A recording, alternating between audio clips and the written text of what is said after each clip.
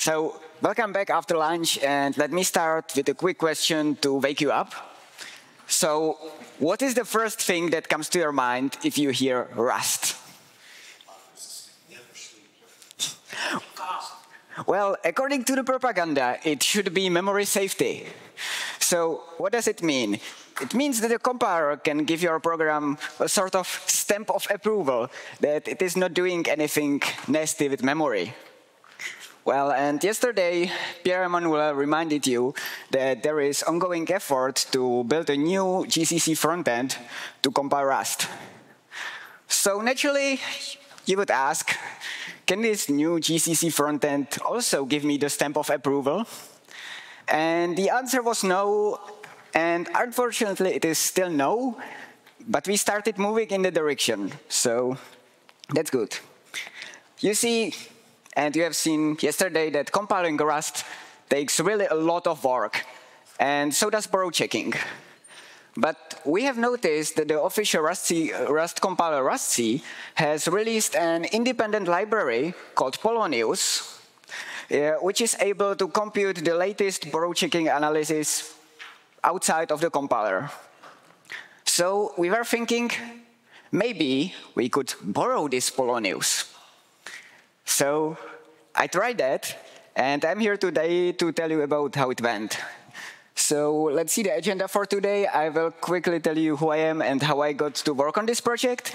Then I will quickly uh, tell you about some terminology because it can be especially confusing because there was a lot of evolution and some of the terms are used for different things. Then I will spend most of the time of the lecture or talk explaining what it actually means to do borrow checking and how it evolved and what are the problems there. And with that knowledge, you'll be able to come back to Rust GCC and I will show you how I used a lot of glue to stick Polonius to Rust GCC. So let's start. My name is Jakub Dupák, and about two and a half years ago, I was at the Embedded World Conference where I bumped into Jeremy, and I'm here. So most of this work was done as part of my master's thesis, uh, led by Pavel Píša here and by Arthur Cohen, maintainer of the Rust GCC project. And right now, I've moved to work on Rust in Microsoft. But I would like to know that Microsoft is not involved in any Rust GCC work. So let's go to the terminology. So first, reference, you probably know that. Sometimes we call that a borrow, and it's just a pointer that is considered by the borrow checker uh, when computing the analysis. More importantly, when I say borrow or reference, I mean the variable that is holding the pointer. So borrowing means just taking a reference. Now, this is where it gets confusing. Loan is the result of borrowing. So if I take a reference of some variable, I get a loan. And then I assign it to some variable, which I will call reference. And I will differentiate uh, assigning different loans to different variables. Okay so far? And finally, lifetime. Uh, in some other sources called origin or region. And this is abstract notion of some part of the program. You can imagine a range of source code lines, a set of control flow graph nodes, or anything. And particularly, what we use lifetimes for is uh, to describe where in the program it is safe to dereference a pointer. So I have said that the part of the compiler responsible for the analysis is called the borrow checker. So it's checking some kind of rules.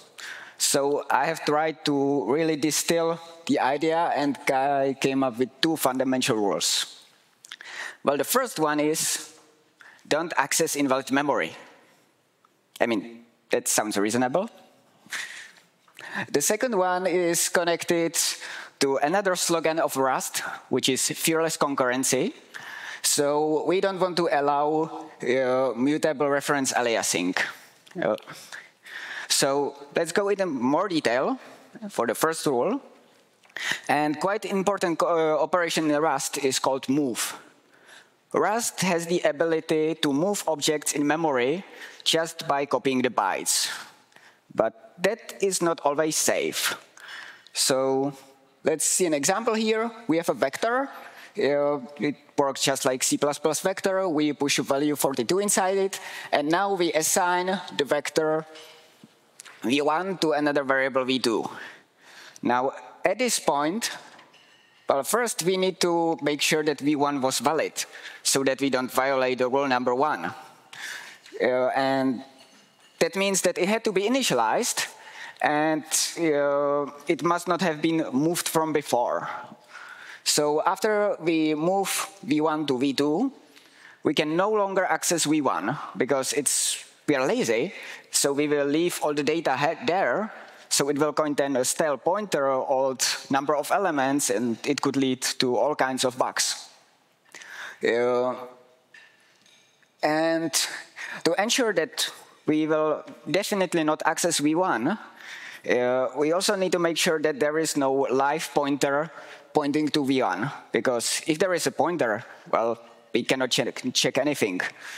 And the way this is handled is that you cannot, cannot move anything that can be pointed to. Okay, now the second part is about lifetimes, and it is we need to make sure that our references are pointing to some valid memory, hence rule number one. So here is a silly example. We are returning a reference to temporary value, and this obviously doesn't work. But you can imagine more complex examples. Uh, and inside the function, it is uniquely determined how long the reference is valid. But it, this gets harder when you want to assign it into other variables and return it from functions. So at that point, you need to track the abstract notion of where you can, where is it safe to the reference variable, which is called lifetime. And whenever you assign one reference pointer to another, you need to make sure that this area where it is safe, where, where you think it is safe, only can get smaller. Because if it gets bigger, then you are lying to the program and you say that there is some part where you can reference it, but that's not true. So we need to make sure that it only stays the same or gets more. And in the proper Rust terminology, we call that subset of lifetimes, because usually lifetime is a set of something. Now, the second rule is we can either have one mutable reference or multiple shared immutable references. This also includes that we cannot modify the original variable because that's just the same as taking mutable reference. But we only care about references that are alive. That means that they may be uh, used later. So in this example program, we have a variable counter, and we create first reference, ref1, to the counter. It is mutable. And the second reference. And this is error. But it is error only because the reference 1 is used after the creation of reference 2.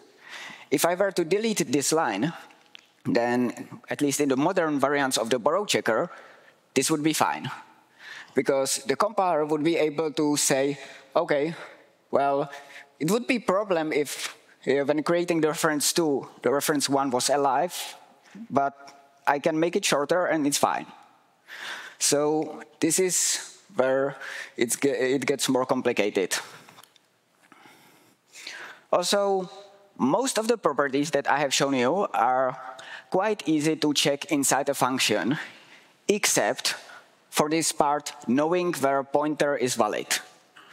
And this gets, the, uh, this is some property that is global across the program.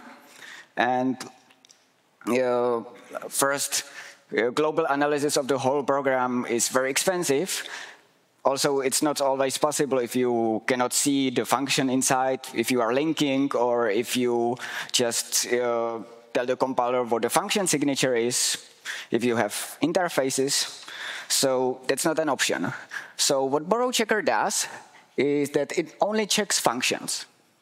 And at the function boundary, it is responsibility of the programmer to describe the invariance of the lifetimes that are going in and going out. And what we use for that are inference variables. They are written apostrophe and some name. So here apostrophe A and apostrophe B. So we have a very simple code here where you have, again, a vector. It's quite nice for examples. And it is storing references. And the references are bounded by uh, lifetime A. Now, we want to create a method that will take any reference and try to push it into the vector. And we need to make sure that it is safe to do so. And I've told you that it is only safe to make the area where we think it is safe to the reference smaller. So we need to add a constraint and say that B must outlive A. So the area where B is valid must be larger than A. Now, this is something that the programmer promises, and the compiler outside of the function will assume it is correct, and inside of the function, it will check that it is correct. So, like I said, it's responsibility of the programmer, but if the programmer messes things up, it doesn't compile, it doesn't cause bugs. So, yeah. Now, what's happening inside of the function? Again, I have quite simple example, and we have some references there. So first, you don't need to always write the lifetime annotations, but this just means that in the function signature, they are all the same. That's not really interesting, so let's make everyone different. Now we have this reference max inside, and because it's inside of the function, you cannot have annotations there, because the lifetime is uniquely determined by the function itself, and it would be just pointless. So we will call the lifetime question mark one, and it is determined by the compiler. And now when we go through the program, we first look at the assignment A to max, and what that means. We must check that the lifetime is only getting smaller, so we create a constraint that apostrophe A outlives the lifetime one. Then we do the same for B, when it might be conditionally assigned to max. And when we return max, we do, do the same for C and 1, except in the other order. And now this is subset, so this is transitive. So that means that for the function to work correctly, apostrophe A and apostrophe B uh, must outlive C. But you see that the function signature says nothing like that. And this will be a compiler error. So you will need to add the where clause and A outlives C and B outlives C. Now, when I talk about lifetimes, I'm being quite fuzzy what it actually is and how it's computed. And the point is that this is the thing that changed the most during the history of the borrow checker. So I will show you how it evolved and why is it today the way it is. So the first idea was, well, let's just go with scopes. So we will measure the lifetime of variables in scopes of local variables. Uh, there is asterisks because there can be some tricks to make some things compile, but uh, it's not very good anyway. So we have example program again. Uh, we have a vector data that has some characters. We have method capitalize that needs a, a mutable reference to that vector, and it does something. And now we also call another method, which also needs mutable reference. So if the previous one is still alive, this program will not compile. Now, right now, this program is correct. It will compile even in very old versions of Rust. Because the lifetime of the reference, uh, muta reference mutable data is bounded only to the function call. So it is definitely, data is definitely valid, so rule number one is correct. And rule number two is also fine because we don't need the reference after the function call. Does that seem obvious to you? OK, let's do some innocent refactoring. We will create temporary variable and assign the reference to it. Well, now it's all ruined because lifetime is bound to scopes, and the scope is up until the curly brace at the end.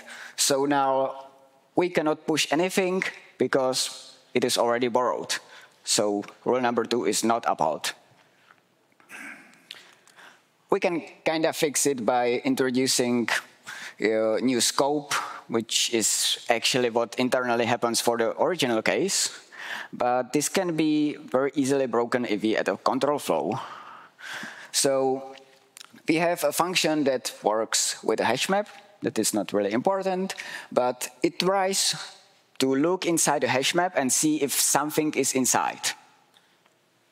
Now, we have two cases. Either something is inside and we get a reference to it, or nothing matching the key is inside, and then obviously we get no reference. So in the sum branch, we have some reference that we need to care about, but in none branch, we have none. So technically, it should be illegal to create new reference and just insert new element, for example, default value here. Well, but this cannot work here because if we create a reference in the map get mutable, it is alive until the end of scope, which is the curly brace, which includes the non-branch. So this was Rust until 2016, and this was actually used by people. It sounds quite amazing, but, or horrible, I don't know. So this is an error. So in 2016, a huge thing happened. Uh, they have moved from lexical lifetimes to non-lexical. And that means that now the lifetime is a set of control flow graph nodes. Or actually, it's more of a range of control flow graph nodes because variables cannot just stop being alive for some gap inside. So now we have the exactly same program, and we have extremely simple control flow graph on the right. And first, we call the method. So we create a reference. Now, in the sum branch, we know that we have the reference, we use it there, and we don't use it anymore. And nowhere else we use this reference. So the program is fine. We have fixed it. So are we happy? Well, no. What if we actually want to return the value? So now we have added return value and we are returning it. So if we create a reference, now in the sum branch, we take the reference and we return it. So that means that it also needs, it is alive in the end, that means at the end of the match, and when we return. But we have a problem here, because it is created in match, and it is alive in end. So under the current definition of lifetime, it also needs to be alive in the none branch. And it's ruined again. So we come to Polonius. Now, there is a lot of confusion about name, the name Polonius, mainly because it is two things. It is this algorithm to compute uh, and new idea what lifetimes might be, and also it's the engine to compute it, the one we are trying to steal. So now, lifetime is a set of loans. So the question I was actually trying to answer is, is any loan to the hash map valid at this point? And the idea of the Polonius algorithm is just try to answer this question directly. So if you look at the non-branch, is there any uh, loan of the hash map? And the answer is obviously no, because we are not returning anything or we are not using anything, so we can create a new one and it's safe. This is part of the Rust in 2024. So this was fixed quite recently. Maybe let me get little more details on the loans. So here, you, here we have simple code, which either, based on some condition, borrows x or it borrows y. So we will call the first one loan R0 and the second one loan L1.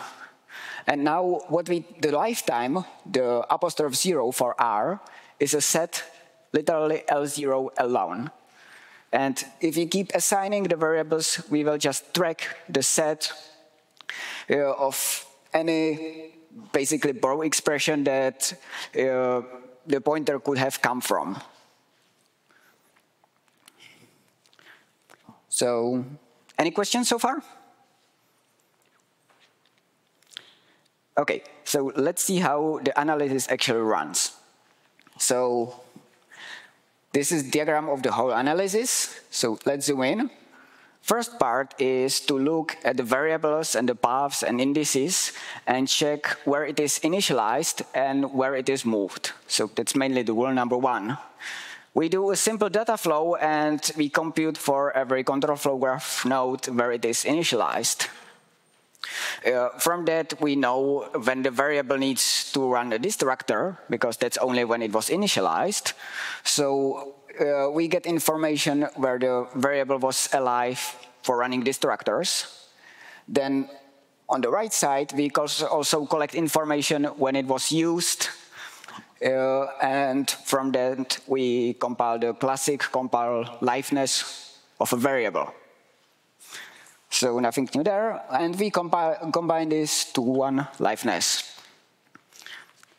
Now, we have on the left, variable belongs to region. That simply means that the type of variable is mentioning some lifetime annotation, or including the implicit ones. So we take the annotations, we compile it, uh, combine it with the liveness, and now for each lifetime, we get whether it is alive or not at each control flow graph point. On the right side, you see outlives. Those are the ones that I showed you in the, inside the function when you figure out that some lifetime needs to be larger than another. And it is a subset relation, so we compute transitive closure.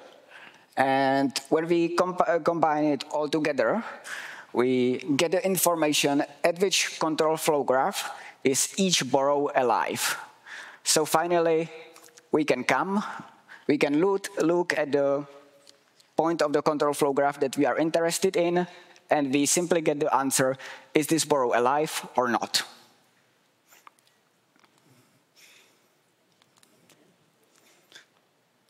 And now we are ready to come back to GCC. So this is a comparison of the compiler pipeline for Rust GCC and Rust C.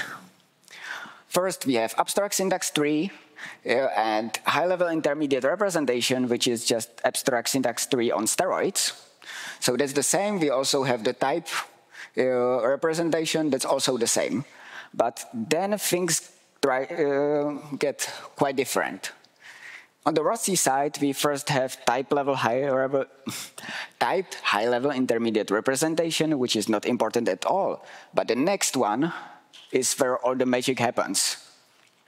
Middle or mid-level intermediate representation is pretty much a crossover between Rust and LLVM IR. So it is three address representation where we can easily work with control flow graph and why I'm talking about this is this is where the borrow checking analysis happens. So let's take an extremely simple uh, Rust function, which just takes a variable and wraps it inside a struct. And this is what MIR looks like. So it has input of the variable, it has basic blocks, it has some simple statements, assignments, return. And this is how the representation look like, looks like. Also, non-trivial example, computation of Fibonacci. And you can imagine this, this is already quite big. So I only picked some interesting basic blocks. You can see this is, it's quite similar to the LLVM IR, but it's more rusty and simple. Uh, you have operations like equal, you have switches, you have gotos, you have returns, moves, Uh, and also there is this special annotation storage live and storage dead, which just says when variable comes into scope and goes out of scope. And you collect the information for the borrow checker by using the diagram that I showed you, and you do the computation. Okay, and now we look on the Rust GCC part, and we are getting into trouble. The next step is generic, that's a 3. So we need to get a control flow graph somewhere. Well, the first and like the ideal option was just to copy what Rusty is doing because we are doing Rust compiler and that's how they designed it. But as I mentioned, compiling Rust is a lot of work. And this would first mean to throw away a lot of work for translating into generic. It would also mean doing all the translation from generic to GIMPLE, like the work that is done there ourselves. And that we have talked about it and discussed that this is not an option. So what else can we do? The other option would be to try to hack generic and GIMPLE to contain enough information for us to use the GIMPLE control flow graph to compute the borrow checking. However, that's quite messy, that there would be a lot of information that would be needed to be added inside the core parts of GCC and I mean, this is still quite experimental work, and we would need to make sure that no things are transformed in such a, some way that would suddenly make the borrow checking not work.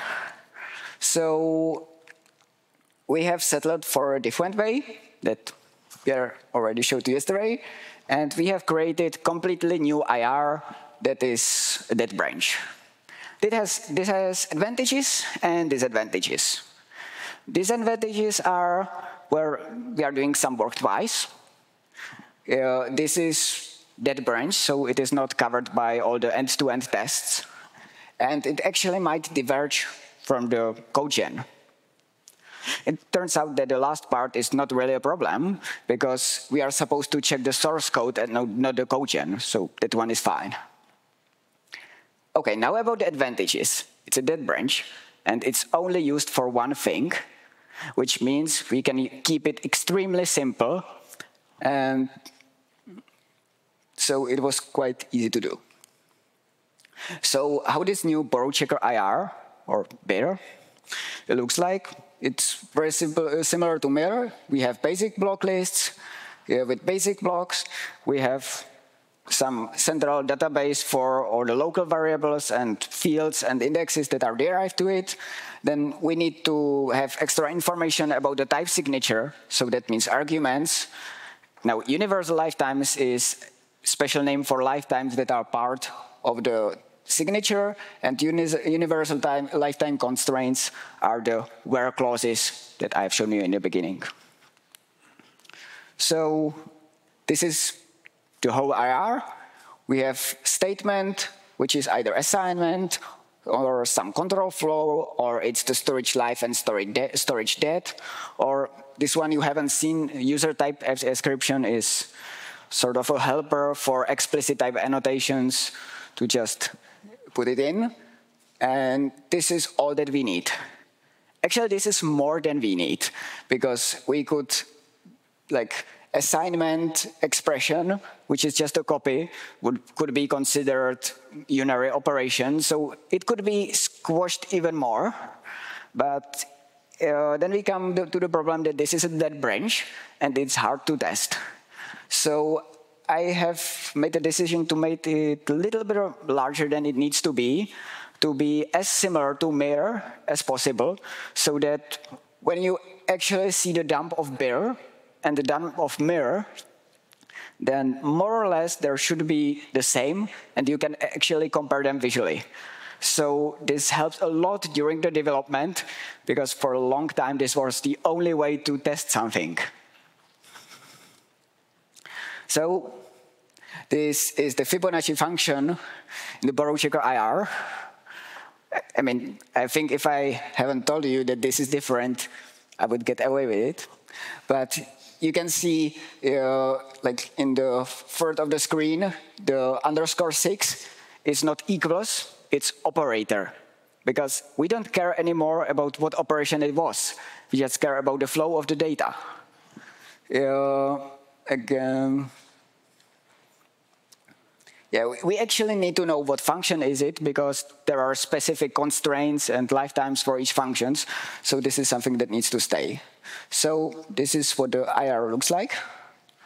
And those are the information that we collect. Uh, it follows exactly the diagram that, excuse me, uh, that I showed you. And we take all this information, we collect it into set of vectors, and we pass it, pass it to the engine that we borrowed from rustc. It gives us a, a list of errors that happened, and what we do is just we display them to the user. Now, there is a little complication where we needed, where I needed to do some extra work. Uh, if you have just assignment of simple references, this gets easier. But in Rust, you have a lot of complex types, which are most of the time generic. And if you have something like this, you have no idea what to do with the lifetimes, because they might be used for anything. So inside the type rep representation, we actually needed to store a lot of information about how the life, where the lifetimes are propagated and how they are used, so that we could compute variance of each lifetime so if it's just assigned, like in X for A, uh, it is, I'm not sure, I think contravariant, but not really important. Uh, so if we assign it the whole structure, then the subset relation stays the same. But if it were to be used in a parameter of a function, it would actually be turned around because that's how the variance work. Now we have B that is not used anywhere, so we don't care about it. And then we have T, which actually, when used, may contain another set of lifetimes, which is where it gets complicated. And T is used inside bar, so now we need to look into bar and do sort of iterative computation to find out what the lifetimes are actually doing and what are they used for. So this is something we need to extend. Now, this is what was asked yesterday. Uh, right now, we are using Cargo and rustc to build some parts of the compiler. And the reason is that the borrow checker engine itself is written in quite advanced Rust. Well, it's not really advanced anymore. It was 2018, but it's still ahead of us. Uh, we had uh, similar uh, problems with procedure macros, I think, and with the lib format. So this is happening in more places. So, but for borrow checking, uh, the conclusion is that borrow checking is not needed for the compiler to run. So it is optional component that is supposed to be compiled externally and provided as a static library with C ABI and it can be used when necessary. And once we are able to compile Polonius, we then actually use this to bootstrap the compiler, first use it without borrow checker, and eventually get there. Uh, I would like to mention that there was a Google Summer of Code student who continued my work uh, this summer, and he took the IR and he added the location information there. So a quick demonstration of some errors. The current state that for anything that we can translate to the borrow checker IR, we can find most of the errors. So that means errors caused by invalid moves. For example, if the value was moved before, uh, when the subset of lifetimes are wrong, or uh, when you have errors with loans, which is the mutable aliasing thing again. So again, a simple code, we have a structure A, uh, which contains something, but it is not explicitly marked to be trivially copyable. That means it's not. And in let A, let B, we assign it, uh, we assign A to B. So at this point, it is moved. And at the last line, we try to move it again. So that's error we should detect. Now, after my work, the uh, borrow checker would tell you, we have found some move errors in the function. Go figure. Well, it's good because after this work of the Google Summer of Code student, the compiler will actually tell you, hey, A was moved.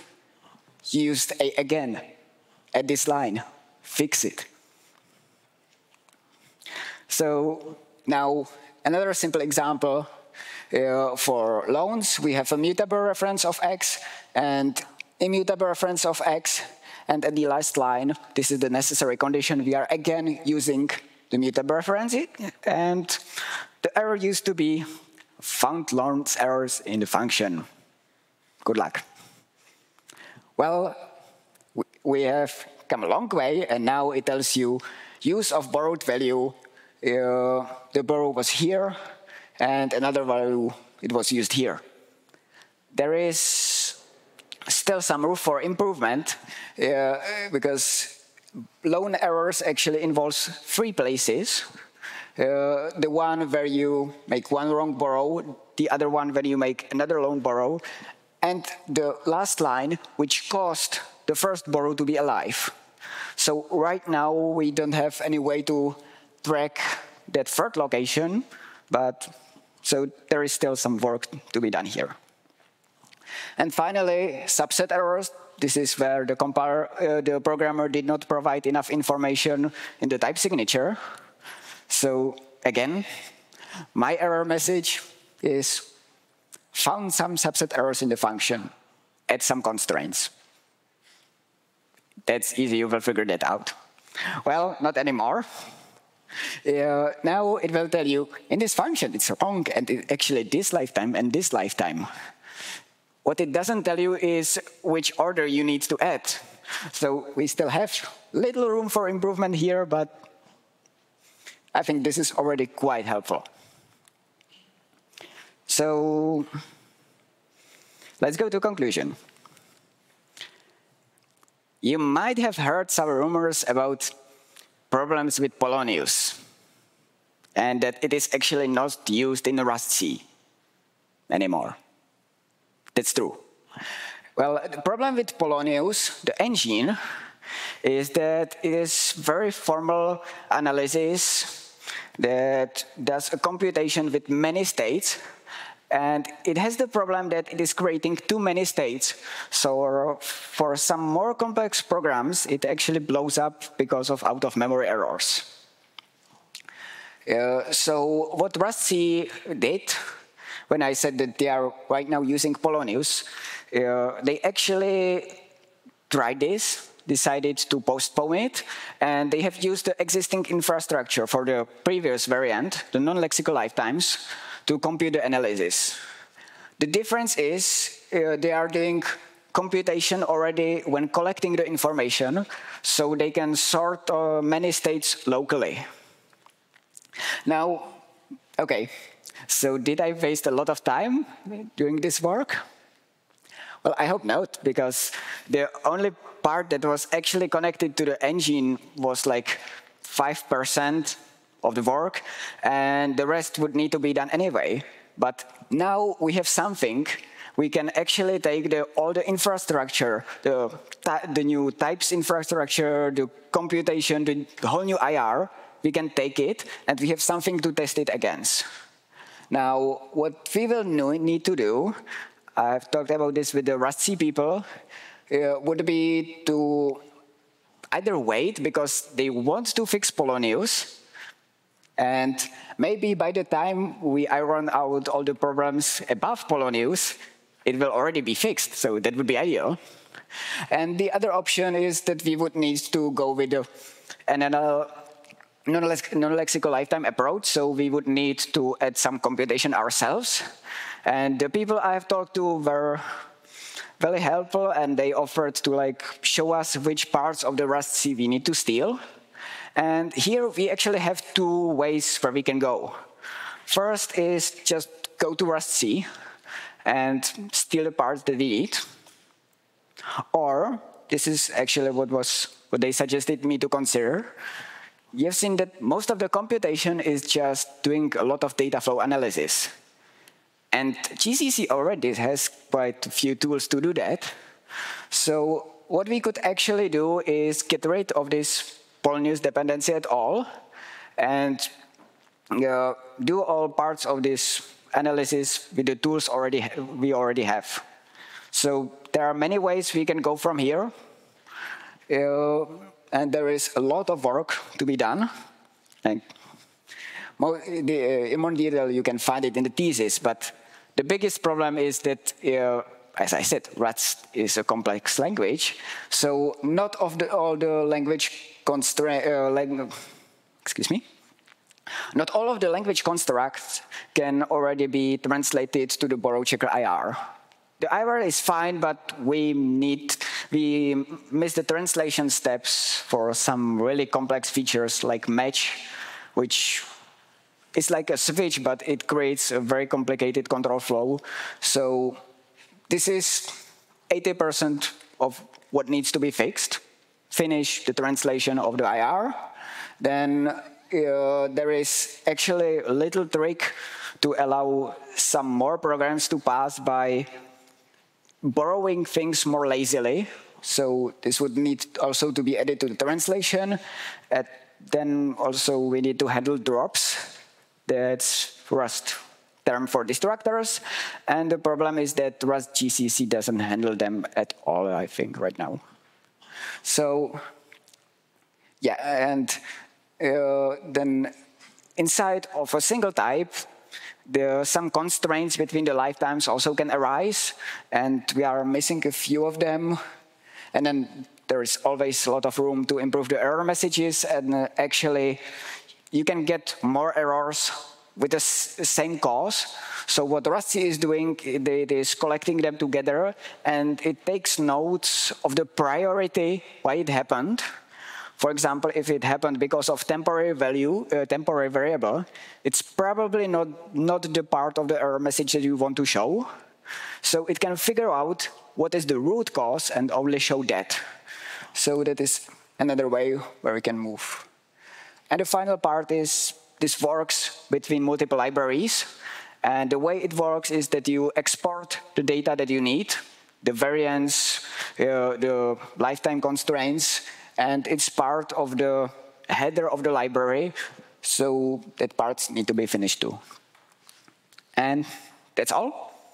So thank you, and if you have any questions.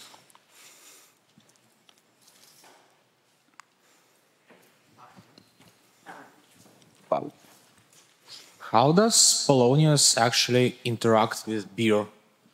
With what? With BIR like you in GCC Rust you have BIR and the Polonius I suppose is uh, written against MIR. Yes. So the uh, the interface is hmm, this is the interface, a set of informations about the program that we collect when we do a pass through the BIR. So, for example, the first one is when a loan is created, so where there is expression to borrow something, we take a note that it happened with origin, that's the name of the lifetime. Uh, we give some unique identifier to the loan, and we tell it what control flow graph number it happened at.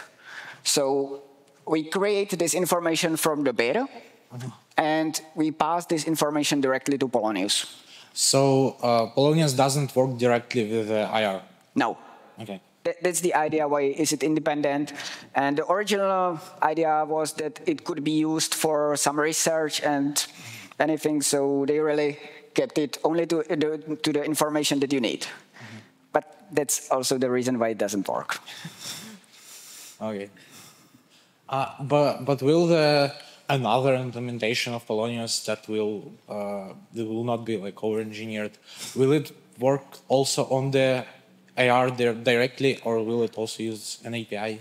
Well, I can't really speak for that because even the, for the Rust people, is like in the stage of pitching ideas. Mm-hmm. But what they would want to do is to keep the same interface, but to be able to like start with really rough resolution. Mm-hmm. Find out what the interesting parts of the programs are, and only uh, expand the states there. Mm-hmm.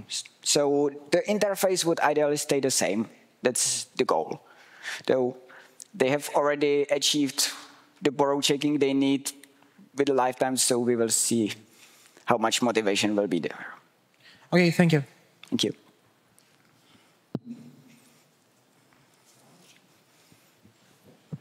Uh, it's good to see the uh, diagnostic improvements and the slides toward the end. I think. Yeah, it was amazing. In the, um, I, I think in the the second one you said it's better, but it's not great. You know, there's still room for improvement. Yes. Um, what's the issue there? Let me find this. Sorry. no problem. Okay, so no. No, it was the lifetime. There's a problem. This one. Okay, so. I think that was the lifetime ones. I think it's a two slides further on or something. Yeah, sorry. Uh, yeah, uh, that one. Okay, uh, so here you need to add some constraint. You need to that one of the out, uh, lifetimes can must outlive the other.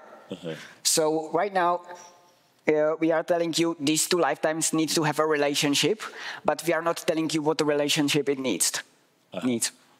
Yeah, and is is that basically the, the same as what Rust C emits? I guess is the question. Uh, or does it do a better job? It tells you, it, most of the time, it tells you quite a lot about what uh, relation you need to define. I, I, think actually Rust C or will, will be able to provide you like completion to alt enter in the editor and fix it. So yeah, that's yes. Yeah, and I'd say the um, I'm shamelessly, um, I admit to shamelessly using Rust C as a source of inspiration for improvements to GCC source printing and underlining all of that. Is there anything needed to be added to uh, GCC's, I guess, diagnostic show locus.cc to, to like better visualize checker concepts or other diagnostics in um, GCC Rust? I guess this would be best answered by Kushal because I did not work on this part. But I, I think like what's really blocking us is having the information.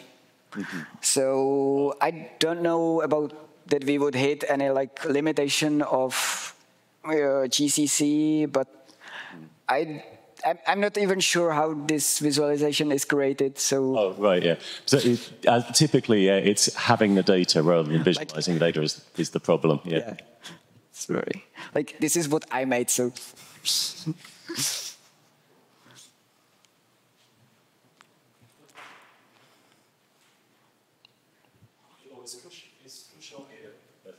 no, he's in India. Right. So, how much are these borrow checking rules set in stone? So, because I assume it rejects some valid code, but I also assume that the Rust C team is probably interested in improving the borrow checking in and allow it to check more code, right? So, if, is there a pro problem that Rust developers are going to rely rely on the cleverer borrow checking rules in Rust C, and R is the GCC Rust uh, implementation going to suffer from uh, having to keep up with the new features in Rust C. I guess not only in the borrow checker, but also I see that Rust is really uh, adding a lot of features, mm -hmm. right, to the language actively. And are we well, possible to keep up with? I would say that like the fundamental rules are set in stone. What is changing is like the precision that you are you can track the things, and now and then you add some special case, mostly to how you generate the MIR, so you can track it better. Uh, but like the basic rules, I think haven't changed that much. It's more about really lifetimes and one like big limitation that I have talked with somebody yesterday was when you pass a struct into a function, right now it has to assume that you might use any part of the struct. So you cannot like uh, even, even you might have like very simple function that will just error, uh, output error message uh, and use something very trivial in the, inside the struct. But if you use something also outside, then the function call hides the logic and the borrow checker has no idea. So just the whole struct is poisoned. So this is actually a limitation I hit quite a lot. But this would really need to extend the expressiveness of the lifetimes to be able to describe much more complicated things, which again would be a lot more complicated for the programmers. It wouldn't really be that hard for the compiler because it's dragging these things inside the function anyway. So, yeah. And so, do you think it's re realistic for GCC Rust to keep up with the uh, the amount, amount of development that's happening in Rust C? Uh, general or for borrow checker? Okay. Uh, generally, generally. Like I, I think checker will not move that much because it's like approaching the state where unless you create some like completely new rules, what about what I mentioned, it is quite converging to what you can do. For Rust in general, well, I mean, it has like order of magnitude more people working on it. Yes. Uh, I don't know how. Like there, there, there is actually a lot of push to stabilize things. One thing that is happening inside Rust is actually to stabilize MIR and to have it as a fixed interface that you can interact with. So that will slow Rust C a lot, I think. But yeah, it will be hard. Thank you.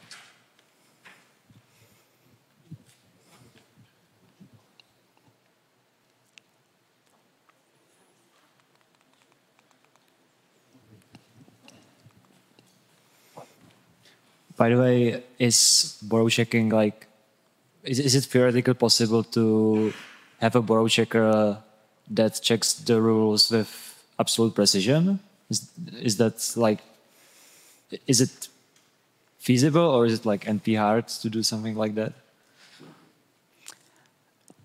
I mean, I think that is happening inside a function.